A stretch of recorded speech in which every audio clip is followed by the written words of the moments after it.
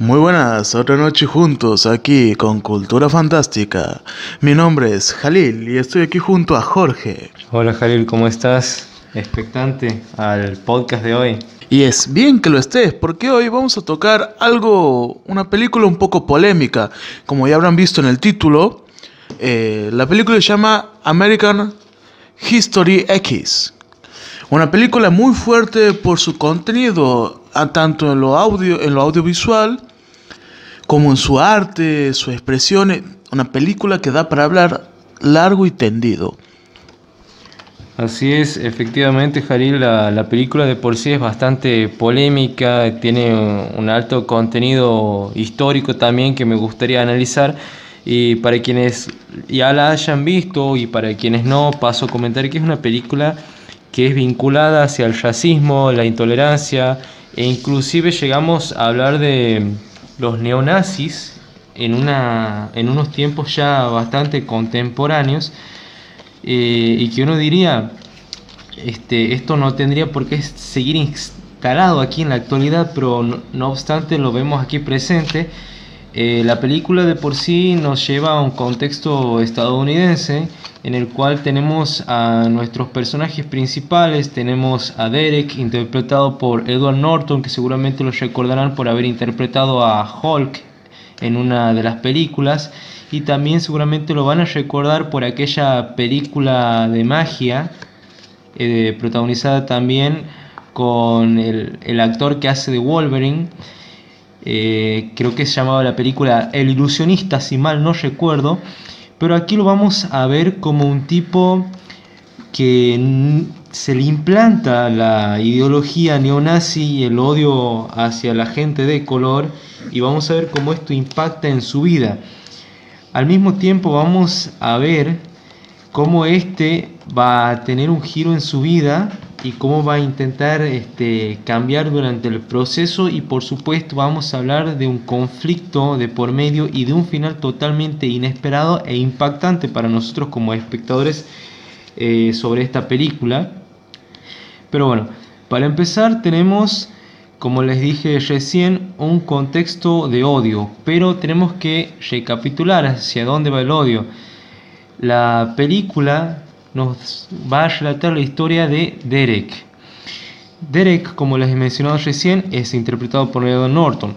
Aquí vemos a un joven el cual pierde a su padre y que en un arranque de odio empieza a culpar a las personas de color por la muerte de su padre, eh, dado que él solamente había ido a realizar su trabajo Cabe destacar que su padre era bombero y justo en su trabajo es donde es asesinado y posteriormente vemos un, a modo de flashback en una escena eh, un reportaje que le, supo, que le supieron hacer donde él directamente desata toda su ira y, y se ve el momento cumbre, el momento en donde nace su odio hacia las personas de color. Posteriormente vamos a ver un, adoctrinamiento por parte de, otro personaje que vamos a abondar más adelante, el cual va a utilizar a favor el rencor de Derek tras la pérdida de su padre para convertirlo en un neonazi. Y hasta ahí tenemos la premisa de esta película y el comienzo de la misma. Jalil, ¿qué tienes para opinar al respecto? Bueno, Opino sobre el hecho de que tiene un arte muy fuerte porque juega con los colores. Es algo que no te das cuenta hasta un momento muy avanzado de la película, el hecho de que los recuerdos sean en blanco y negro y los sucesos actuales en color. Pero no es el típico blanco y negro que se hacía antes, es se nota que había tecnología ya y es un blanco y negro en tonos grises. Recordemos que es una película que ha sido filmada en el 97 pero estrenada en el 98. Y, y una película muy polémica, porque los de New, New Line Cinema hicieron como tres puestas de la misma hasta que a la final quedó el último corte donde el actor Norton tuvo que coproducirla para que salga a flote. Considerando todos estos factores, Una película muy buena pero que fue olvidada. Recordemos que Norton fue nominado a un Oscar por esta misma película. De hecho, este interviene tanto Norton que no le ha gustado tanto el director como ha quedado el corte final. Ha intentado salirse o dejar un seudónimo o algo, cosa que se le fue denegada. Pero este, a pesar de que es una muy buena película, eh, la misma ha recaudado 26 millones y solamente el, costo de producción ha sido de 20 millones, así que no podemos hablar de, de una gran recolección en cuanto a dinero en taquilla, pero sin embargo, más allá de, de lo que pudo haber dejado, creemos que es una película muy conveniente para analizar y compararla con, el, con lo que estamos viviendo hoy día a día. Y, a ver, es una cinta que tiene muchísimo valor, si me permites acotar esto, Jalil. Pero bueno, Historia Americana X, como hemos dicho en el principio, trata de la pérdida eh, de un ser querido, en este caso el papá de, de Derek. Y vemos ahí el, el auge, el nacimiento y el odio que nace posteriormente en la generación de, un, racismo. Ahora, las ideas que han sido implantadas en Derek han sido implantadas desde una manera indirecta debido a su padre, porque él relata de que Estados Unidos, quizás por ser políticamente correcto, eh, y esto lo vamos a dar a modo de ejemplo citando una de las escenas de la película cuando estaba el padre en, la cena eh, discutiendo con un Derek más joven a modo de flashback por supuesto. Recordemos que esto se da antes de la muerte del padre, donde este le dice, hoy en el trabajo pudieron haber venido eh, dos tipos blancos mejores que los dos negros que contrataron, debido a que a los dos blancos le ha ido mejor en el examen sin embargo, quizás por ser políticamente correcto, terminan contratando a estos negros que no están tan capacitados para desenvolverse en el rol de, bombero. Sin embargo, eh, por más desacuerdo que esté el padre, eh, se ha dado esta situación. Y aquí es donde vemos que se desata todo un sermón. Eh, que si bien no pasa por tanto por las capacidades de, la persona para desenvolverse, para calificar como acto para X trabajo, vemos una perspectiva un tanto racista, porque de hecho eh, vamos a rescatar uno de los personajes que influyen demasiado en la vida de Derek, el quien era su profesor, el profesor Lewis, quien cabe destacar que es un profesor de color negro. Eh, el tipo eh, le hablaba y bueno, el tipo era un, sujeto con varios doctorados, que bueno, él era profesor porque bueno, una aparentemente le apasionaba realizar eh, el acto de la enseñanza, eso por un lado, pero también este, dejar algo inculcado en sus, en sus estudiantes. Al mismo tiempo se pone a hablar de la literatura eh, basada en, en gente de color y cómo ésta influye en la sociedad y ante ante esto, el padre de Derek se enoja en la mesa. De hecho, este, em, vemos, eh, realiza una escena bastante fuerte que ya se podría catalogar como bastante racista. Y bueno, quizás Derek, por ser sumiso o por ser bastante un joven bastante influenciable, se deja llevar por las ideas de su padre. No sé qué tienes para acotar, Jalil. A mí, para mi parecer, es, es muy fuerte porque no solo nos deja el mensaje de lo que dice el padre, sino que lo marca el hecho de que su padre muere posteriormente. Realmente el auténtico villano de la película se puede decir que es ese profesor. Un hombre que escribe literatura sobre supremacía blanca y se decía eh, apoyaba los movimientos eh, de, de skinheads o cabezas rapadas, como se les dice.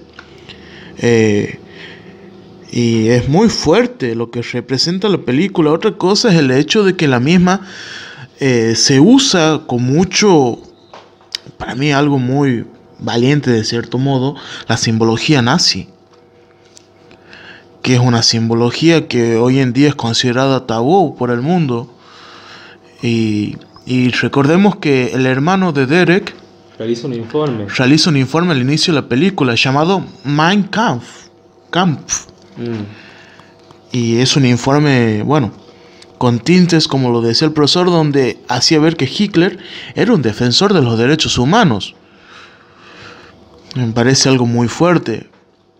Recalquemos que es algo que no le gusta para nada al profesor, por un lado, y que trata de, ir cambiando a, en este caso, su hermano, el, más chico, eh, Dani. Pero también recordemos algo que nos estamos olvidando.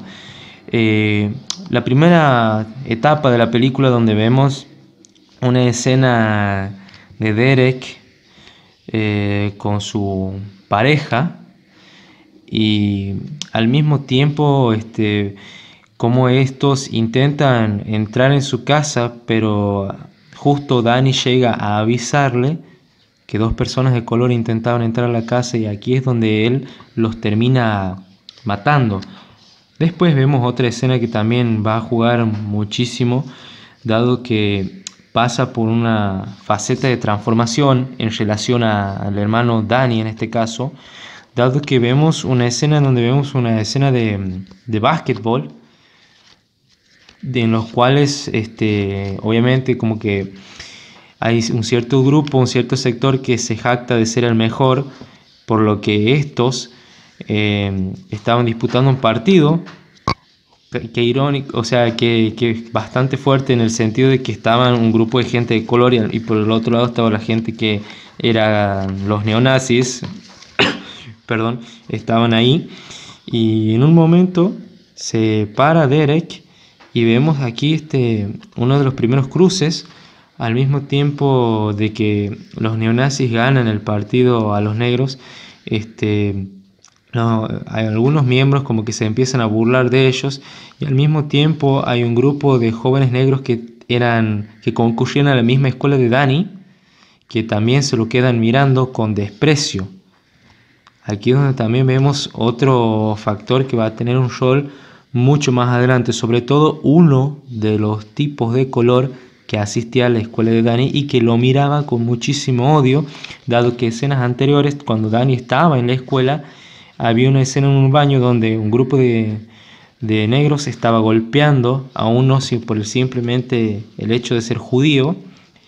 Y en ese momento quizás es salvado indirectamente por Dani porque no porque quisiera salvar al chico en cuestión de una tremenda golpiza, sino por su simple racismo su odio hacia la gente de color, dado que fuma un cigarro enfrente de ellos y le tira el humo a este chico de color, que, o sea, que le da más razones para odiarlo y le dice que esto no se va a quedar así. Pero bueno, eso por un lado, pero podemos hablar ahora de una de las partes más fuertes, es el hecho de que cuando al inicio de la película Derek asesina a los negros que intentaban entrar a su casa, que recordemos esto aparece al inicio de la película, pero después se nos explica que son los mismos tipos que estaban en el partido de básquetbol, eh, dado que habían sido humillados. Y bueno, estos ya iban por matarlo directamente a Derek, pero este, Derek se anticipa esto y los termina matando, razón por la cual termina él en la cárcel. Y aquí es donde vamos a ver un trasfondo en el personaje porque van a pasar muchísimas cosas en la cárcel y vamos a encontrarnos con personajes que van a cambiar la postura de, Derek, dado que el profesor, recordemos que el profesor en el pasado se sorprende de que Derek haya terminado así, dado que él era un buen estudiante, eh, era bastante destacado y le llamaba bastante la atención por qué, el cómo eh, termina él adentro de la cárcel. No sé si quieres acotar algo, Jalil tomando en cuenta la escena de la cárcel. Una escena muy fuerte por lo que acontecía antes de que lo vea en la cárcel. Es algo que, bueno, no podemos hablar en profundidad porque es una escena muy fuerte y, bueno, puede haber jóvenes muy menores escuchando este podcast. Eh, pero se podría decir que fue eso y el hecho de que él se haya hecho amigo de un joven de color que justamente le tocaba trabajar con él en la lavandería, eh, hace que su mirada cambie poco a poco. Y el doctor Hein fue la persona que le dio el aval para que salga de ahí, pero a cambio de un precio muy alto. Recordemos que eh, el grupo este de skinheads lo tenían como un, un líder supremo por el hecho de que él fue el que propició el movimiento. Hay una escena muy clara donde él está con el profesor, se baja, los reúne y van y asaltan a una tienda de un señor de origen asiático que tiene empleados de color. Y hay una escena muy marcada. E inmigrantes. E inmigrantes. Y hay una escena muy marcada, es cuando justo agarra la caja fuerte y la rompe contra el vidrio. Uno pensando que sí le va a llevar por el dinero, pero no, buscaba hacer daño. Y en esa misma escena también agarraron a una mujer de color y le empezaron a tirar químicos y productos para limpieza sobre la boca y la cara, al punto de casi ahogarla y matarla. Es, vamos a ser sinceros, una película muy fuerte, pero que tiene un valor no sé, un valor indescriptible por el hecho que te hace reflexionar lo que está sucediendo a día de hoy. Que aunque se ha, combatido, se ha combatido en gran medida el racismo, se lo ve presente. Y me parece que es algo que muy fuerte y que se tendría que seguir planteando en las escuelas. Sé que me estoy saliendo del debate central, que es el análisis de la película, pero la misma película genera que uno haga este análisis porque como Jorge dijo, es contemporánea, o sea, es a nuestros tiempos. Y te deja pensando que aunque sea ficción, en algún lugar esto puede estar ocurriendo. Te lo presenta en diferentes planos. Te lo presenta con el hermano en la escuela. El hermano mayor cómo maltrató a su familia en la casa, que es una escena que es muy marcada porque estaba eh, un profesor de Dani que salía con su mamá después de que muere el papá y estaban comiendo y empiezan a debatir. Casualmente era judío. No te olvides de eso. Claro que era judío y debatían sobre un hecho de que una persona de color iba por la autopista a altas velocidades y la policía cuando lo va a arrestar, este hombre argumentaba que lo habían eh, agredido de forma innecesaria y y llegando a la época del juicio, los policías tuvieron que ir a declarar porque estaba en riesgo su trabajo. Eh, parecía algo muy fuerte. ¿Y por qué me viene esto a la memoria? Porque él en ese momento estaba a favor de los oficiales que según él estaban haciendo su trabajo. Y cuando él conoce a esta persona de color en la lavandería, le pregunta por qué está adentro. Y él le dice, no me gusta hablar de eso. Y le dice, ¿cuánto tiempo llevas aquí? Me dieron seis años. Entonces algo has hecho, le dice. No te dan seis años por, por nada, le dice. Y le dice, bueno, por robar un televisor, le dice él.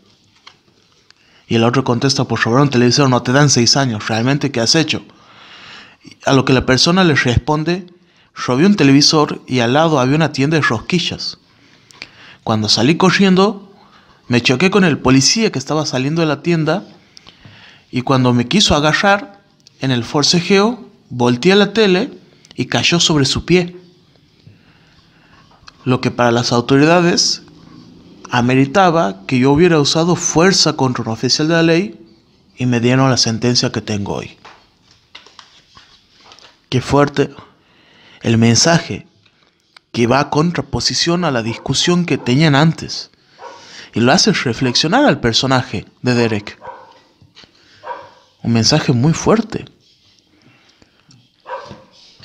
Bien, cabe destacar que al principio la relación entre esta persona de color que estaba ahí en la cárcel, este, como Jalil mencionaba recién, trabajaba junto a Derek, porque les, daban un puesto de trabajo diferente. eh, estando en la cárcel. Al principio esta relación se veía bastante distante, bastante nula, pero vemos como con el transcurso de las escenas que no se ven para nada forzosas, sino que se dan de una manera bastante fluida, vemos cómo estos empiezan a entablar una amistad, pero esto obviamente tiene sus consecuencias, dado que el grupo de neonazis que supo alabar y de tenerlo como, como figura máxima a Derek, eh, lo termina haciendo a un lado. De hecho, este, le dicen, ¿por qué te juntas con negros? ¿Quieres acaso ser uno de ellos? Y vemos obviamente un, alto mensaje de intolerancia, de racismo, pero llevado a, a, un extremo, el cual se ve bastante reflejado en el momento en que varias personas lo toman desprevenido en el baño y proceden a realizar eh, un acto en contra de su voluntad, que prácticamente sería la violación de este personaje que este, bueno, después termina con, con el doctor de la cárcel. Cabe destacar que la policía ve este suceso, pero obviamente se aleja inmediatamente de la escena. Eh, no sé esto hasta qué punto tomarlo, dado que este ni siquiera quiso meterse, ni siquiera quiso mantener el orden, simplemente dejó que las cosas pasaran. Recordemos que dentro que estamos hablando de una cárcel en la cual está controlado por distintos bandos. Pero retomando con el personaje de Derek, vemos cómo este termina mm, con suturas, con puntos e inclusive también con varios golpes, porque después en el baño él queda bastante golpeado inclusive. y va en su visita eh, el profesor Lewis, quien eh, lo hace reflexionar, quien lo hace pensar, dado que es un profesor que ha marcado un antes y un después en su vida y que lo dirige por el buen camino como buen profesor que es. De esta manera él reflexiona y una vez que sale y llega con su familia, intenta cambiar las cosas y por sobre todas las cosas intenta cambiar a su hermano Dani que cambie su ideología, porque la habitación en donde estaba Dani, recordemos que tenía una esvástica, tenía una bandera nazi, todo lo vinculado a lo que ha sido prácticamente eh, alabar a Hitler, tener todo lo, todo lo vinculado, todo lo posible vinculado a, al ser prácticamente nazi, lo tenía él. Eh, es, entonces cuando ya vemos un punto de reflexión en el hermano mayor para cambiar la vida, para que su hermano Dani no siga sus pasos, para que no haga lo que él ha hecho, para que no termine como él ha terminado, porque como un hermano que ya ha vivido por diferentes experiencias, obviamente lo más lógico de pensar es que va a querer lo mejor para su hermano. Obviamente este, esto no se da de un momento a otro, sino que se va a dar de una escena a otra, pero con sus porqués por detrás. Recordemos que cuando llega Derek nuevamente, no esperaban todos sus amigos, este, dado que él lideraba ese grupo de gente que supo entrar a los almacenes, no a asaltar, sino a hacer disturbios, debido a la gente que trabajaba ahí, porque prácticamente hablaban de que trabajaban chinos, trabajaban inmigrantes, trabajaban gente de diferentes nacionalidades, colores, diferentes creencias inclusive. Por lo tanto, cuando se encuentran nuevamente con esta gente, todos piensan que Derek sigue siendo la misma persona, pero en realidad Derek ya es otra persona. Se puede decir que prácticamente es una persona de bien, que aún sigue en formación, y que intenta seguir cambiando todo lo que aconteció en su vida, obviamente para bien. Pero el punto de quiebre se produce cuando Derek ya no quiere formar parte de esta banda, de hecho golpea a un par y se encuentra su hermano en, la mismísima banda, lo saca de ahí y le expresa todo lo que ha sucedido. Eh, recordemos que para este punto ya estamos en un tres cuartos de la película, en los cuales este, nos muestran como decía Jalil hace unos momentos, a modo de flashback todo lo que sucedió y nos damos cuenta de que cuando él estuvo en la cárcel y que cuando se separa de todas las personas y prácticamente vuelve a estar solo, él esperaba el ataque de una persona, ataque que nunca sucede, ¿verdad Jalil? Es muy cierto. Él estaba con ese miedo constante cada segundo, sobre todo en la ducha, cuando hacía ejercicio, en todo momento. Pero llegó su día de la liberación y se vuelve a encontrar con este personaje que les dice unas palabras muy fuertes. No odies a los hermanos. Es la única cosa que le pedía.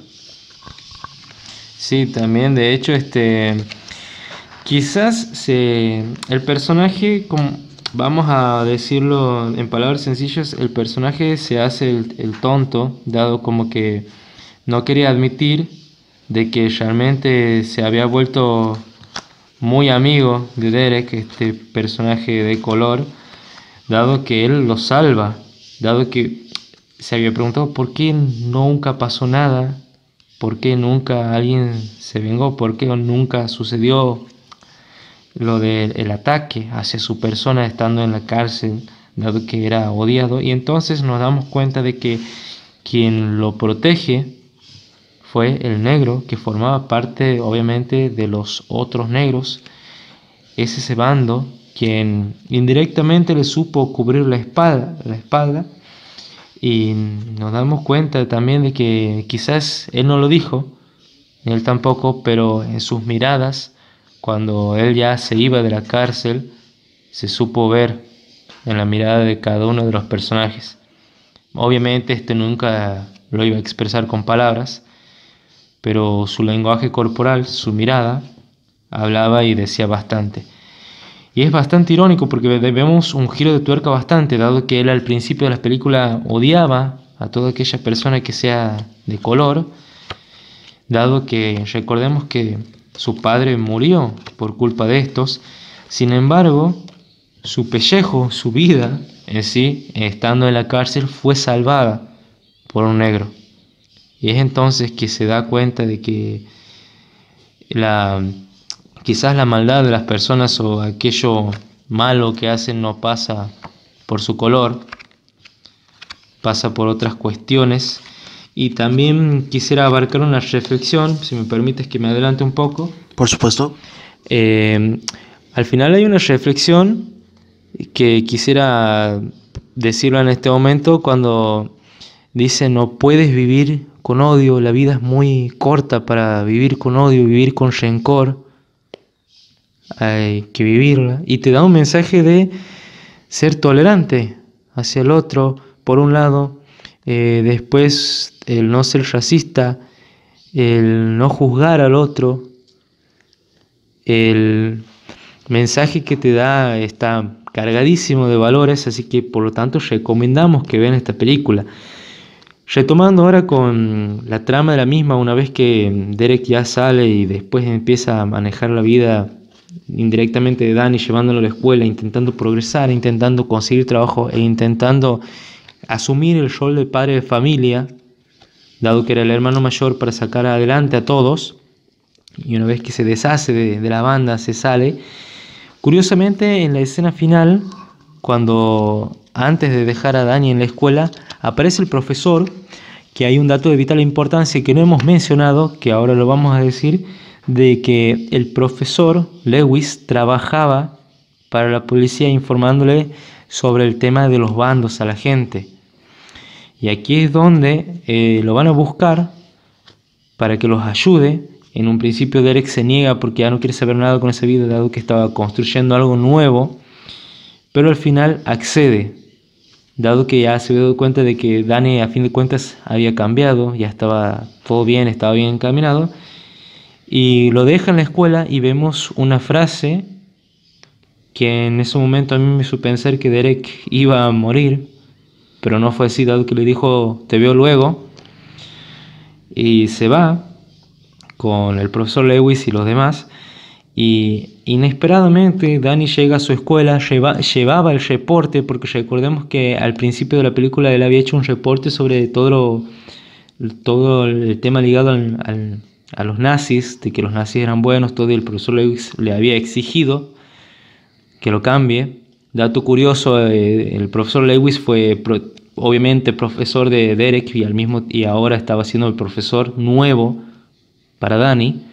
Y cuando ya Dani llevaba algo totalmente modificado para él y se despide de su novia, se dirige hacia el baño e inesperadamente escuchamos el sonido de un disparo y posteriormente vemos la muerte de Dani a manos de un sujeto de color, de uno de los chicos negros con los cuales anteriormente había tenido un cruce no fuerte, de quizás de, manera instantánea, pero que paulatinamente durante la película se dio, al menos durante la primera etapa, pero que sin embargo no te lo esperas. Para mí fue una muerte bastante inesperada.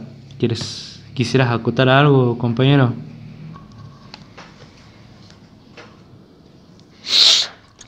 Sí, me resultó muy fuerte toda la película y un contexto muy cargado de una enseñanza.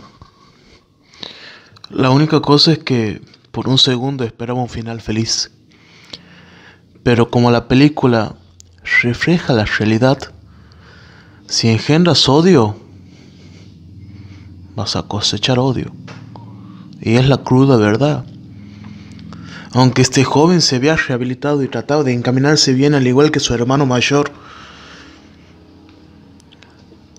si te lo pones a pensar, el joven de color no, seguía con las malas influencias de su, de en este caso la persona que lo acompañaba en el auto.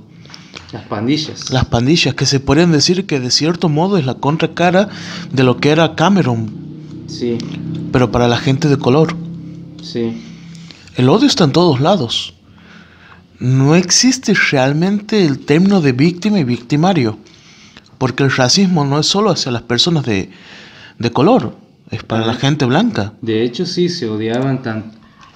Había un odio hacia el blanco, había un odio hacia el negro, un odio hacia el inmigrante, un odio hacia personas con otras creencias eh, religiosas, por supuesto. Recordemos el odio hacia los judíos. Pero, ¿por qué eh, el aumento de esto? Debido a las redes de experiencia de cada uno de los personajes, tanto principales como secundarios, había un aprovechamiento por parte de Cameron para adoctrinar a estas personas y utilizar ese odio, ese rencor para realizar ataques en la sociedad y producir ese desequilibrio que hay.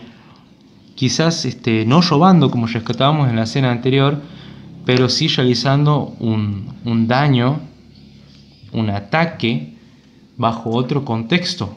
¿No es así? Sí, realmente es muy fuerte la película y bueno, eh, ¿qué decirlos? Realmente este es mi cierre. Eh, recomiendo que la vean y que saquen sus propias conclusiones, como lo hicimos nosotros. Siempre recomendamos películas de terror, de acción, pero...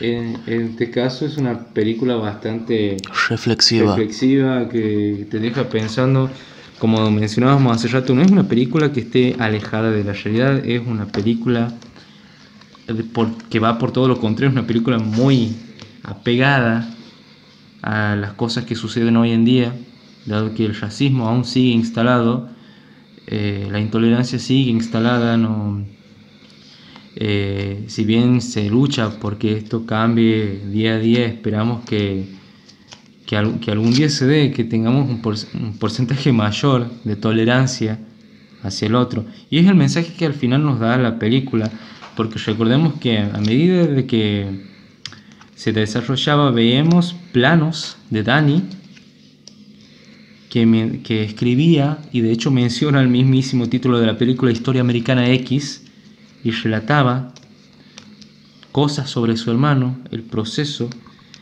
eh, de cambio, eh, los valores, las vivencias, las experiencias, y al final hacía una cita que básicamente nos decía que no puedes vivir enojado, la vida es muy corta para hacerlo, hay que querer al otro, hay que respetar al otro y que básicamente él aprendió de que estuvo mal, aprendió de sus errores, pero así como también él fue consciente, este, había un grupo de personas que debía cambiar. Y por más que desde el plano de la película se diga, bueno, las otras personas que deben cambiar son los personajes secundarios, como fue la novia de Derek, que era un neonazi, el amigo de Derek, que también era otro neonazi, o sea, todo ese sector, por más que lo veamos desde el trasfondo de la película, eh, se ve, si lo traemos al plano, al mundo real, a un mundo palpable, nos vamos a dar cuenta de que quizás, a lo mejor, alguien alrededor nuestro, quizás conocido, quizás no, sea una persona con ideología o con, o con una actitud que refleje cierta intolerancia hacia el otro, Así que eh, mis conclusiones finales, una película que vale la pena verla. Eh, recomiendo verla con alguien más en la medida de lo posible. Eh, es para reflexionar bastante, es una película que aporta muchísimo valor, de hecho es una muy buena película, no hay nada que, que reclamarle, te entretiene bastante el, desarrollo de la historia se da paulativamente, no, no varía, no se va por las ramas en ningún momento y por supuesto que te va a mantener expectante. Es una película, repito, muy recomendada, dado que este, no se va, este, no es como otras películas que hemos analizado anteriormente, que se van por el lado de la fantasía, sino que esta es una película muy apegada a la realidad y más allá de que sea una película que data sobre el racismo en Estados Unidos, sobre la intolerancia en Estados Unidos, es una película que trata esto de la manera más cruda posible y que nos puede mostrar que esto se puede dar en cualquier parte del mundo, bajo cualquier ámbito, bajo cualquier contexto. En fin, Historia X, una película recomendadísima si nos quieren recomendar películas, sean muy amables de decirnos, con gusto las veremos, las analizaremos y las cuestionaremos, como todo en esta vida. No se olviden de ver el análisis de John Wick 3 para Bellum, que lo hizo Jorge Todd. Muy bien, así es, ya está disponible en el canal, así que nos estamos escuchando en otro podcast. Hasta la próxima.